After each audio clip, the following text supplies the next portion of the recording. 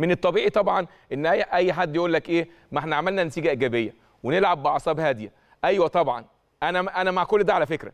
أنا بقول وجهة نظري إن نتيجة ال- الذهاب تدينا دفعة معنوية عالية. لأن كل اللي بيتكلموا ناسيين نتيجة الذهاب والناس تقول لك إيه انسى نتيجة الذهاب. لا ما انساش نتيجة الذهاب.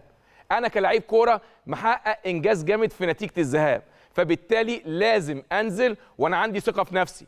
وأنا حاسس ان أنا آه، مش مش عايز أقول ان أنا كعبي عالي على على الفرقة الثانية ولكن أنا عملت انجاز كويس في المغرب لازم احافظ عليه.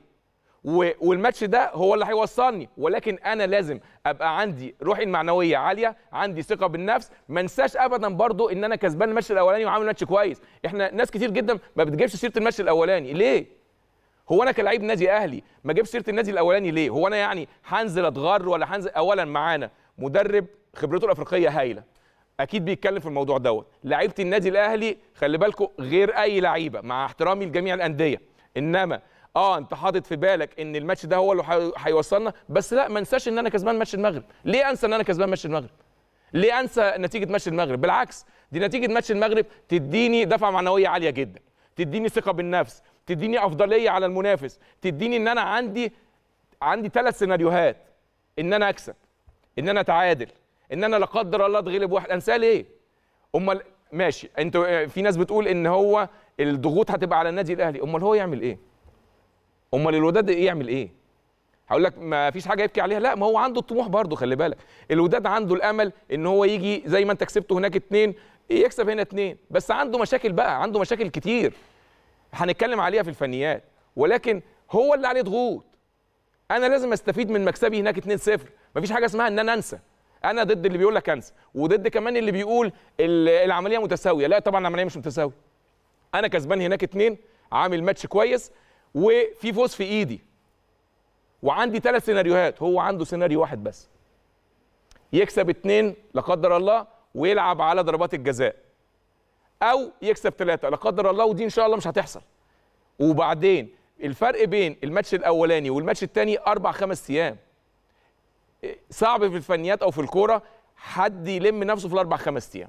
وحتى لو لم نفسه مش النادي الأهلي اللي يجي في في يكسب بره اتنين ويجي في أرضه يخسر اتنين أو تلاتة. عمرها ما حصلت ولا هتحصل إن شاء الله. طبعا الحذر مطلوب لأن أنت بتلاعب منافس اللي هو نادي الوداد. هو آه مش هيبكي على حاجة لأنه خسران على أرضه. ماشي. بس هو مش هيستسلم. دي أنا هحطها في اعتباري. بالعكس هو هتلاقيه بيقدم كل اللي عنده. للخروج إيه بقى؟ بشكل مشرف أو إيه يعني محاولة خطف بطاقة التأهل. هو هيحاول يعمل اللي عليه. ولكن النادي الأهلي هيعمل اللي عليه وزيادة. أنا متأكد من كده.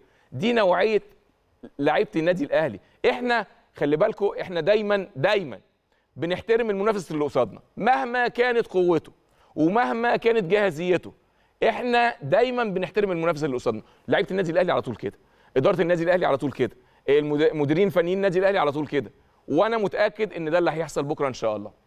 طبعا النادي الأهلي هيخوض مباراة العودة بكرة قدام الوداد باعصاب هادية. ليه؟ بسبب نتيجة لقاء الذهاب. ولكن الحذر مطلوب. بقولها تاني العشر مرة. الحذر مطلوب لحين التأهل الرسمي. الكل في الأهلي داخل معسكر الفريق في قمة التركيز. يعني إحنا عارفين حاجات من جوه إن هم في قمة التركيز لأنهم على دراية إن الصعود لم يحسم بعد. ولا بد من التركيز في مباراة بكرة لأنها بوابة الصعود من أجل تحقيق نتيجة تساعد الفريق إن شاء الله في الصعود للفاينل واستكمال المشوار نحو استعادة اللقب الأفريقي الغائب عن قلعة الجزيرة منذ عام 2013